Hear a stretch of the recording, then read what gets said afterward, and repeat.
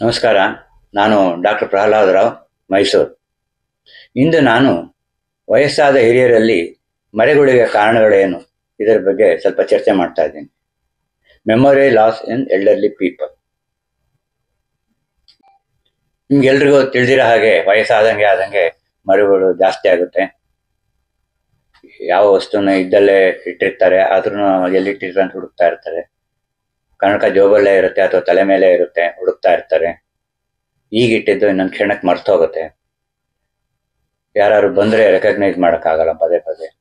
ಇನ್ನು ಉಲ್ಬಣ ಸ್ಥಿತಿಯಲ್ಲಿದ್ದಾಗ ಅವರಿಗೆ ಬೆಳಗ್ಗೆ ಯಾವುದು ಸಂಜೆ ಯಾವುದು ಯಾವ ಡೇಟು, ತಾರೀಕು ಎಲ್ಲ ಮರ್ತೋಗಿರುತ್ತೆ.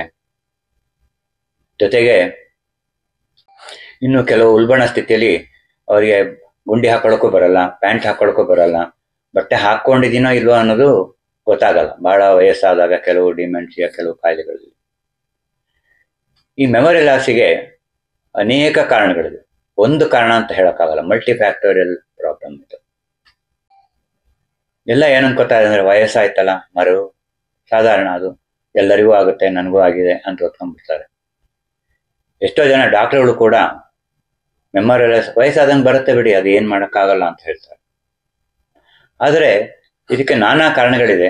ಆ ಕಾರಣಗಳಲ್ಲಿ ಕೆಲವರನ್ನಾದ್ರೂ ನಾವು ಕಮ್ಮಿ ಮಾಡಿಕೊಂಡ್ರೆ ಸ್ವಲ್ಪ ಮಟ್ಟಿಗೆ ಮರೆಗುಳಿತನನ ಕಮ್ಮಿ ಮಾಡ್ಕೋಬಹುದು ಮತ್ತೆ ಮುಂದೆ ಆಲ್ಜಿಮರ್ಸ್ ಡಿಮೆನ್ಷಿಯಾ ಬರೋದನ್ನ ತಡೆಗಟ್ಟಕ್ಕಾಗಲ್ಲ, ಸ್ವಲ್ಪ ಮುಂದೆ ಹಾಕೋಬಹುದು ಎಪ್ಪತ್ತ, ಎಂಬತ್ತು ವರ್ಷಗಳಿಗೆ ಬರೋವಂಥದ್ದನ್ನ ಎಂಬತ್ತೈದು ನಂತರ ಬರೋಂಗೆ ಮಾಡ್ಕೋಬಹುದು ಮೊದಲನೇದಾಗಿ ಮೆಡಿಕೇಶನ್ ಸೈಡ್ ಎಫೆಕ್ಟ್ಸ್ ಕೆಲವು ಔಷಧಿಗಳಿಂದ ಅನೇಕ ಕೆಟ್ಟ ಪರಿಣಾಮಗಳು ಉಂಟಾಗುತ್ತೆ.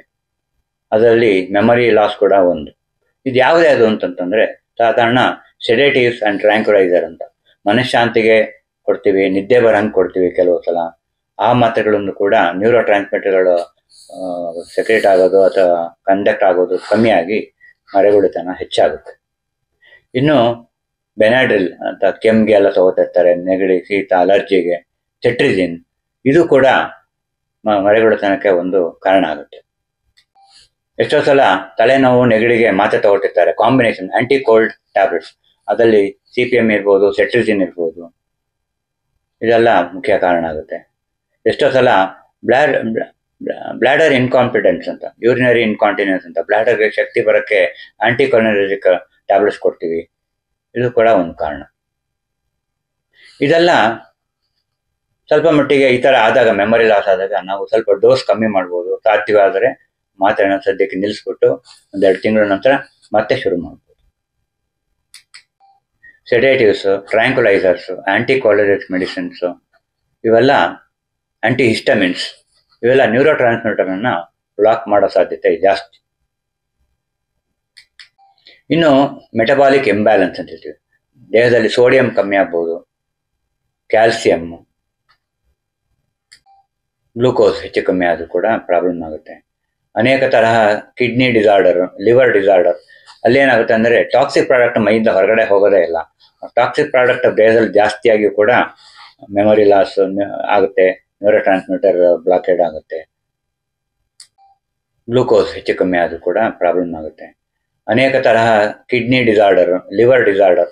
ಅಲ್ಲೇನಾಗುತ್ತೆ ಅಂದರೆ ಟಾಕ್ಸಿಕ್ ಪ್ರಾಡಕ್ಟ್ ಮೈಯಿಂದ ಹೊರಗಡೆ ಹೋಗೋದೇ ಇಲ್ಲ. ಟಾಕ್ಸಿಕ್ ಪ್ರಾಡಕ್ಟ್ ದೇಹದಲ್ಲಿ ಜಾಸ್ತಿಯಾಗಿ ಕೂಡ ಮೆಮೊರಿ ಲಾಸ್ ಆಗುತ್ತೆ. ನ್ಯೂರೋ ಟ್ರಾನ್ಸ್ಮಿಟರ್ ಬ್ಲಾಕೇಡ್ ಆಗುತ್ತೆ. ಇನ್ನು ಮೂರನೇದು ಹಾರ್ಮೋನಲ್ ಇಂಬ್ಯಾಲೆನ್ಸ್ ಬಹಳ ಕಾಮನ್ ಆಗಿರೋದು ಥೈರಾಯ್ಡ್ ಅದು ಜಾಸ್ತಿ ಆದರೂ ತೊಂದರೆ, ಕಮ್ಮಿ ಆದರೂ ತೊಂದರೆ. ಹೈಪೋಥೈರಾಯ್ಡಿಸಮ್ ಹೈಪರ್ ಥೈರಾಯ್ಡಿಸಮ್ ಇಲ್ಲೂ ಕೂಡ ಮೆಮೊರಿ ಲಾಸ್ ಆಗೋ ಸಾಧ್ಯತೆ ಜಾಸ್ತಿ. ವಯಸ್ಸಾಗ್ತಾ ಆಗ್ತಾ ಈಸ್ಟ್ರೋಜನ್ ಕಮ್ಮಿ ಆಗುತ್ತೆ ಟೆಸ್ಟೋಸ್ಟಿರಾನ್ ಕಮ್ಮಿ ಆಗುತ್ತೆ. ಇದೆಲ್ಲ ಒಂದು ಕಾರಣ ಆಗುತ್ತೆ. ನಾಲ್ಕನೇದು ವಿಟಮಿನ್ ಡೆಫಿಷಿಯನ್ಸಿ ಮುಖ್ಯವಾಗಿ vitamin B twelve deficiency vitamin D deficiency ಇದು ಕೂಡ ಕಾಗ್ನಿಟಿವ್ ಇಂಪೇರ್ಮೆಂಟ್ ಆಗುತ್ತೆ. ಫೋಲೇಟ್ ಫೋಲಿಕ್ ಆಸಿಡ್ ಇದು ಕೂಡ ಬಹಳ ಮುಖ್ಯ. ನ್ಯೂರೋ ನ್ಯೂರಲ್ ಟ್ಯೂಬ್ ಫಾರ್ಮೇಷನ್ ಅಲ್ಲಿ ನರ್ವ್ ಸೆಲ್ಸ್ ಕಂಡಕ್ಷನ್ ಅಲ್ಲಿ ನ್ಯೂರೋ ಟ್ರಾನ್ಸ್ಮಿಟರ್ ಚೆನ್ನಾಗಾಗಕ್ಕೆ ಇದೆಲ್ಲ ಮುಖ್ಯ ಕಾರಣ ಆಗುತ್ತೆ. ಐದನೇದು ಡೆಲೀರಿಯಂ ತುಂಬಾ ಸೀರಿಯಸ್ ಪೇಷಂಟ್ಸ್ಗಳು ಅಡ್ಮಿಟ್ ಆಗಿರ್ತಾರೆ ಆಸ್ಪತ್ರೆಯಲ್ಲಿ ಐ ನಲ್ಲಿ ಇರ್ತಾರೆ ನ್ಯೂಮೋನಿಯಾ ಆಗಿರ್ಬೋದು ಸಿವಿಯರ್ ಯೂರಿನರಿ ಟ್ರಾಕ್ಟ್ ಇನ್ಫೆಕ್ಷನ್ ಆಗಿರುತ್ತೆ. ಅಂತ ಟೈಮಲ್ಲಿ ಅನೇಕ ತರಹ ಮೆಡಿಸಿನ್ ಕೊಡ್ತೀವಿ. ಇದ್ರ, ಇದರಿಂದ ಕೂಡ ಇದರಿಂದ ಕೂಡ ಕಾಗ್ನೇಟಿವ್ ಇಂಪೇರ್ಮೆಂಟ್ ಆಗೋ ಸಾಧ್ಯತೆ ಇದೆ. ಸಿವಿಯರ್ ಇಲ್ನೆಸ್ ಇಂದ ಹಾಸ್ಪಿಟಲ್ ಅಡ್ಮಿಟ್ ಆಗಿರ್ತಾರೆ ಐ ಸಿ ಇರ್ತಾರೆ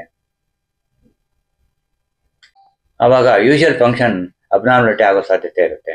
ಡೆಲಿರಿಯಂ ಬರೋ ಸಾಧ್ಯತೆ ಇರುತ್ತೆ. ಇದಕ್ಕೆ ನಾವು ಇದಕ್ಕೆ ನಾವು ಹಾಸ್ಪಿಟಲ್ ಡಿಮೆನ್ಷಿಯಾ ಅಂತ ಹೇಳ್ತೀವಿ. ಡಿಸ್ಚಾರ್ಜ್ ಆಗಿ ಸ್ವಲ್ಪ ದಿನ, ಕೆಲವೇ ದಿನಗಳಲ್ಲಿ ಅವರು ರಿಕವರ್ ಆಗ್ತಾರೆ. ಆರನೇದು ಸೈಕ್ಯಾಟ್ರಿಕ್ ಇಲ್ನೆಸ್ ಆಂಗ್ಸೈಟಿ ಡಿಪ್ರೆಷನ್ನು ಇದು ಕೂಡ ಕಾರಣ ಆಗುತ್ತೆ. ಬರೀ ಆಂಗ್ಸೈಟಿ ಡಿಪ್ರೆಷನ್ ಇಂದ ಅದಕ್ಕೆ ಅದಕ್ಕೆ ಅಂತಹ ಕೆಲವು ಮೆಡಿಕೇಶನ್ಗಳು ಮೆಡಿಕೇಶನ್ ಕೆಲವು ಸೊ ಇದರಿಂದ ಬ್ರೈನ್ ಬ್ರೈನ್ ಇದರಿಂದ ಇದರಿಂದ ಬ್ರೈನ್ ಇಂಪೈರ್ಮೆಂಟ್ ಆಗೋ ಸಾಧ್ಯತೆ ಇದೆ. ಮತ್ತೆ ವಿಡ್ರಾಲ್ ಸಿಂಪ್ಟಮ್ಸ್ ಕನ್ಫ್ಯೂಷನ್ ಆಗುತ್ತೆ, ನಿದ್ದೆ ಬರಲ್ಲ ಇರಿಟೇಷನ್ ಕೈಕಾಲು ನಡುಕ ಮೆಮೊರಿ ಲಾಸ್ ಇದೆಲ್ಲ ಇರುತ್ತೆ. ಎಷ್ಟೋ ಸಲ ಆಂಗ್ಸೈಟಿಯಿಂದ ರಾತ್ರಿ ನಿದ್ದೆನೇ ಸರಿ ಮಾಡಲ್ಲ. ಅದರಿಂದ ಕೂಡ ಅನೇಕ ನ್ಯೂರೋ ಹಾರ್ಮೋನ್ಸ್ಗಳು ವ್ಯತ್ಯಾಸ ಆಗಿ ಮೆಮೊರಿ ಲಾಸ್ ಆಗೋ ಸಾಧ್ಯತೆ ಇರುತ್ತೆ. ಏಳನೇದು ಸಕ್ಷನ್ಸ್ ಅಬ್ಯೂಸ್ ಮತ್ತೆ ಅದರ ವಿಡ್ರಾಲ್ ಸಿಂಪ್ಟಮ್ಸ್ ಲೈಕ್ ಆಲ್ಕೋಹಾಲ್ ಆಗಿರ್ಬೋದು. ಆಲ್ಕೋಹಾಲ್ ತಗೊಂಡ್ರೂ ತೊಂದರೆ ಆಲ್ಕೋಹಾಲ್ ಸಡನ್ ಆಗಿ ವಿಡ್ರಾಲ್ ಮಾಡಿದ್ರು ಪ್ರಾಬ್ಲಮ್ ಆಗುತ್ತೆ. ಇನ್ನು ಅನೇಕ ತರಹ ಡ್ರಗ್ಸ್ಗಳು ಮಾದಕ ದ್ರವ್ಯಗಳು, ಕಾಯಿಲೆಗಳು ಎಲ್ ಎಸ್ ಡಿ ಗಾಂಜಾ, ಅಫೀಮ್ ಅಂತೆಲ್ಲ ಹೇಳ್ತೀವಲ್ಲ, ಅದು ಕೂಡ ಸಾಧ್ಯತೆ ಇರುತ್ತೆ. ಅದರ ವಿಡ್ರಾಲ್ ಮಾಡಿದಾಗ್ಲೂ ಪ್ರಾಬ್ಲಮ್ ಆಗುತ್ತೆ. ಇದರಿಂದ ಬ್ರೈನ್ ಇಂಪೇರ್ಮೆಂಟ್ ಆಗೋ ಸಾಧ್ಯತೆ ಇದೆ. ಮತ್ತೆ ವಿಡ್ರಾಲ್ ಸಿಂಪ್ಟಮ್ಸ್ ಕನ್ಫ್ಯೂಷನ್ ಆಗುತ್ತೆ, ನಿದ್ದೆ ಬರಲ್ಲ ಇರಿಟೇಷನ್ ಕೈಕಾಲು ನಡುಕ ಮೆಮೊರಿ ಲಾಸ್ ಇದೆಲ್ಲ ಇರುತ್ತೆ. ಎಂಟನೇದು damage to the brain cells due to injury ಆ ಇಂಜುರಿ ಸ್ಟ್ರೋಕಿಂದ ಆಗ್ಬೋದು, ರಕ್ತನಾಳಗಳು ಬ್ಲಾಕ್ ಆಗ್ಬೋದು ಅಥವಾ ಒಡ್ಕೋಬೋದು, ಅಥವಾ ಹೊರಗಡೆಯಿಂದ ಏಟಾಗ್ಬೋದು ಅಥವಾ ಸೆರೆಬ್ರಲ್ ಅಟ್ರೋಫಿ ಅಂತ ಹೇಳ್ತೀವಿ. ಬ್ರೈನ್ ವಯಸ್ಸಾಗ್ತಾ ಆಗ್ತಾ ಅದರಲ್ಲಿ ನೀರಿನ ಅಂಶ ಕಮ್ಮಿಯಾಗಿ ಶ್ರಿಂಕ್ ಆಗುತ್ತೆ. ಶ್ರಿಂಕ್ ಆದಾಗ ತಲೆಯಲ್ಲಿ ಆಡಿಸಿದಾಗ ಒಳಗಡೆ ಇರುವ ಮೆದುಳು ಮೆದುಳು ಸ್ಕಲ್ಗೆ ತಾಕಿ ಏಟಾಗೋ ಸಾಧ್ಯತೆ ಬ್ಲೀಡಿಂಗ್ ಆಗೋ ಸಾಧ್ಯತೆ ಹೆಚ್ಚು. ಹಾಗಾಗಿ ತುಂಬಾ ವಯಸ್ಸಾದವರಲ್ಲಿ ಅವ್ರು ಬೀಳಲೇಬೇಕಂತಲ್ಲ ಸುಮ್ಮನೆ ಜೋರಾಗಿ ತಲೆ ಅಲ್ಲಾಡಿಸಿದಾಗ ಅಥವಾ ಬಸ್ಸಲ್ಲಿ ಕೂತ್ಕೊಂಡಾಗ ಜೋಲ್ಟಿಂಗ್ ಅಂತ ಹೇಳ್ತೀವಿ, ಆ ಥರ ಆದಾಗ ಕೂಡ ಬ್ರೈನ್ ಸೆಲ್ ಡ್ಯಾಮೇಜ್ ಆಗೋ ಚಾನ್ಸಸ್ ಇರುತ್ತೆ ಸ್ಟ್ರೋಕ್ ಆಗೋ ಚಾನ್ಸಸ್ ಇರುತ್ತೆ. ಯಾವಾಗ ರಕ್ತನಾಳಗಳು ಬ್ಲಾಕ್ ಆಗುತ್ತೆ ಆವಾಗ ಆ ಬ್ರೈನ್ ಸೆಲ್ಗೆ ಆಕ್ಸಿಜನ್ ಇರಲ್ಲ. ಆಕ್ಸಿಜನ್ ಬಹಳ ಮುಖ್ಯ, ಈ ಬ್ರೈನ್ ಸೆಲ್ಸ್ ಕೆಲಸ ಮಾಡೋಕ್ಕೆ.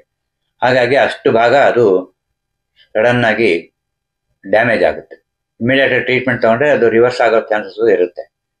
ಅದು ಗೋಲ್ಡನ್ ಅವರ್ಸ್ ಅಂತ ಹೇಳ್ತೀವಿ. ಅದು ಬ್ರೈನ್ ವಿಷಯದಲ್ಲಿ ಬರೀ ಒಂದೇ ಗಂಟೆ ಅಥವಾ ಮ್ಯಾಕ್ಸಿಮಮ್ ಮೂರು ಗಂಟೆ. ನೀವು ಕಾಲ ಕಳೆದಂಗೆ ಕಳೆದಂಗೆ ಬ್ರೈನ್ ಡ್ಯಾಮೇಜ್ ಸ್ವಲ್ಪನೇ ಜಾಸ್ತಿ ಆಗ್ತಾ ಹೋಗುತ್ತೆ. ಇನ್ನು ಈ ತರ ಬ್ರೈನ್ ವೆಸಲ್ಸ್ ಡ್ಯಾಮೇಜ್ ಆಗೋದು ಸ್ಟ್ರೋಕ್ ಆಗೋದಕ್ಕೆ ನಾನಾ ಕಾರಣಗಳಿದೆ ಹಾರ್ಟ್ ಡಿಸೀಸ್ ಆಗಿರ್ಬೋದು ಹೈ ಬಿ ಪಿ ಇರ್ಬೋದು ಹೈ ಶುಗರ್ ಇರ್ಬೋದು cholesterol head injury ಒಂಬತ್ತನೇದು damage to the brain cells due to degeneration ವಯಸ್ಸಾದಂಗೆ ಆದಂಗೆ ಬ್ರೈನ್ ಸೆಲ್ಸ್ ಬರ್ತಾ ಬರ್ತಾ ವೀಕ್ ಆಗೋದು ಡ್ಯಾಮೇಜ್ ಆಗೋದು, ಸಾಯೋದು ಸೆಲ್ಸ್ಗಳೆಲ್ಲ ಶ್ರಿಂಕ್ ಆಗುತ್ತೆ. ನ್ಯೂ ನ್ಯೂರೋ ಡಿಜೆನರೇಟಿವ್ ಡಿಸೀಸ್ ಅಂತ ಹೇಳ್ತೀವಿ. ಅದು ಆಲ್ಜಿಮರ್ಸ್ ಆಗಿರ್ಬೋದು, Parkinson disease dementia fronto temporal degeneration, Lewy bodies ಅಂತ ಹೇಳ್ತೀವಿ. ಇದೆಲ್ಲ ಬ್ರೈನ್ ಸೆಲ್ ಡಿಜನರೇಷನ್ ಆಗೋಕ್ಕೆ ಒಂದು ಕಾರಣ. ಇಲ್ಲಿ ಕಾಗ್ನಿಟಿವ್ ಇಂಪೇರ್ಮೆಂಟ್ ಆಗಿ ಇಂಡಿಪೆಂಡೆನ್ಸಿ ಹೊರಟಾಗ್ಬಿಡುತ್ತೆ. ಯಾರ ಮೇಲಾದ್ರು ಡಿಪೆಂಡೆಂಟ್ ಆಗುತ್ತೆ ನಾನು ಆಗಲೇ ಹೇಳ್ದಂಗೆ ಮರಗಳ ಹೆಚ್ಚಾಗಿ ಬಟ್ಟೆ ಹಾಕೊಂಡಿರೋದು ಕೂಡ ಮರ್ತೋಗುತ್ತೆ. ದಿನದ ವೇಳೆ, ತಾರೀಕು, ಎಲ್ಲಿದ್ದೀನಿ, ಅದೆಲ್ಲ ಮರ್ತೋಗಿರುತ್ತೆ. ಹಗಲೋ ರಾತ್ರಿ ಅದೂ ಕನ್ಫ್ಯೂಸ್ ಆಗ್ತಾ ಇರುತ್ತೆ. ಯಾರು ಹತ್ತಿರದವ್ರು ಬಂದಾಗ ಅವರು ಬೇಗ ಗುರುತು ಹಿಡಿಯಲ್ಲ. ಹತ್ತನೇದು ಇನ್ಫೆಕ್ಷನ್ ಅದು ವೈರಸ್ ಆಗಿರ್ಬೋದು ಬ್ಯಾಕ್ಟೀರಿಯಾ ಫಂಗಸ್ ಪ್ಯಾರಸೈಟ್ಸ್ ಇವೆಲ್ಲ ಬ್ರೈನ್ಗೆ ಎಫೆಕ್ಟ್ ಆಗ್ಬೋದು. ಅಥವಾ severe pneumonia severe urinary tract infection recurrent U T I ಅಂದರೆ ಯೂರಿನರಿ ಟ್ರ್ಯಾಕ್ಟ್ ಇನ್ಫೆಕ್ಷನ್ ಇದು ಕೂಡ ಬ್ರೈನ್ ಸೆಲ್ ಡ್ಯಾಮೇಜ್ ಆಗೋಕ್ಕೆ ಒಂದು ಕಾರಣ. ಇನ್ನು ಟಾಕ್ಸಿನ್ಸ್ ಇದು ಬಹಳ ಮುಖ್ಯ ಕಾರಣ ಆಗುತ್ತೆ. ನಮಗೆ ಗೊತ್ತಿದ್ದಂಗೆ ನಾವು ಅನೇಕ ವಿಷ ಪದಾರ್ಥಗಳನ್ನು ಸೇವನೆ ಮಾಡ್ತಿರ್ತೀವಿ. ಇಂದಿನ ಆಧುನಿಕ ಯುಗದಲ್ಲಿ ಡೆವಲಪ್ಮೆಂಟ್ ಟೆಕ್ನಾಲಜಿ ಅಂದ್ಕೊಂಡು ಏನೇನೋ ಉಪಯೋಗಿಸ್ತಿರ್ತೀವಿ. ಲೈಕ್ ಟೂತ್ ಪೇಸ್ಟ್ ಆಗಿರ್ಬೋದು ಸೋಪ್ ಆಗಿರ್ಬೋದು ಆಂಟಿಬ್ಯಾಕ್ಟೀರಿಯಲ್ ಸೋಪ್ ಆಗಿರ್ಬೋದು. ನಿಮ್ಮ ಅಡಿಗೆ ಮನೆಯಲ್ಲಿ ಉಪಯೋಗಿಸುವ ಟೆಫ್ಲಾನ್ ಕೋಟಿಂಗ್ ಇರುವಂಥ ತವಾಗಳಾಗಿರ್ಬೋದು. ವಾಟರ್ ಕಂಟಾಮಿನೇಷನ್ ಆಗಿರುತ್ತೆ. Pesticides insecticides ಸ್ಪ್ರೇಗಳು heavy metal poisoning water pollution air pollution ಇನ್ನು ನಾನು ಹೇಳ್ದಂಗೆ, ನಮಗೆ ಗೊತ್ತಿದ್ದಂಗೆ ನಾವು ನಾವಿಗೆ ಹೋಗಿ ಸಣ್ಣ ಪುಟ್ಟ ತೊಂದರೆ ತೊಂದರೆಗಳಿಗೆಲ್ಲ ಮಾತ್ರೆಗಳು ನುಂಗೋದು. ನೆಗಡಿಗೆ, ಕೆಮ್ಮಿಗೆ, ಸುಮ್ ಸುಮ್ಮನೆ ಯಾವುದಾದ್ರು ಕಾಫ್ ಸಿರಪ್ಗಳು ಕುಡಿಯೋದು, ಇದು ಕೂಡ ತೊಂದರೆ ಆಗುತ್ತೆ. ಹಾಗಾಗಿ ನಾನು ಹೇಳೋದು ಏನಂದ್ರೆ, ಅರವತ್ತು ವರ್ಷ ಆದಮೇಲೆ ಮರೆಗೊಳತನ ಬರ್ತಾ ಇದ್ರೆ ಅದಕ್ಕೇನೋ ಒಂದು ಸಣ್ಣ ಪುಟ್ಟ ಕಾರಣಗಳು ಅದರ ಅಡಿಯಲ್ಲಿ ಇರುತ್ತೆ. ಅದಕ್ಕೇನು ಎಂಥದ್ದು ಅಂತ ನಿಮ್ಮ ಹತ್ರ ಇರುವ ಡಾಕ್ಟರ್ ಹತ್ರ ತೋರಿಸ್ಬಿಟ್ಟು ನಿಮ್ಮ ಬಿ ಪಿ ಶುಗರ್ ಲೆವೆಲ್ಗಳು ಮತ್ತೆ ಕೆಲವು ಅನ್ನೆಸರಿ ಮೆಡಿಸಿನ್ ತಗೊಳ್ತಾ ಇದ್ರೆ ಅದನ್ನ ನಿಲ್ಲಿಸ್ಬೇಕು. ತೀರಾ ಅಗತ್ಯವಾದ ಮೆಡಿಸಿನ್ ಅದರ ಡೋಸ್ ಕಮ್ಮಿ ಮಾಡಬೇಕು. ಅಥವಾ ಸ್ವಲ್ಪ ದಿವಸ ಬಿಟ್ಟು ಮತ್ತೆ ಶುರು ಮಾಡ್ಬೋದು. ಈಗ ನೀವೆಲ್ಲ ಯೂಸ್ ಮಾಡೋಂಗೆ ಈ ಕೊಲೆಸ್ಟ್ರಾಲ್ ಮೆಡಿಸಿನ್ ಕೂಡ ಅದರಿಂದ ಶುಗರ್ ಜಾಸ್ತಿ ಆಗೋ ಸಾಧ್ಯತೆ ಇದೆ. ಶುಗರ್ ಜಾಸ್ತಿ ಆಗಿ ಬೇರೆ ಪ್ರಾಬ್ಲಮ್ಗಳು ಬ್ರೈನ್ ಸೆಲ್ಸ್ ಡ್ಯಾಮೇಜ್ ಆಗೋದು, ಅದೆಲ್ಲ ಇರುತ್ತೆ. ಮರೆಗೊಳಿತನ ಹೆಚ್ಚಾಗುತ್ತೆ.